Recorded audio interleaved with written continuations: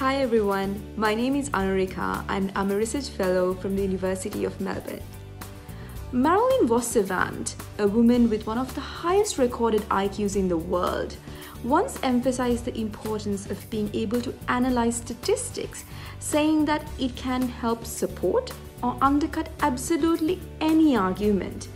And if you cannot really rationally defend an argument, all you've got is an opinion.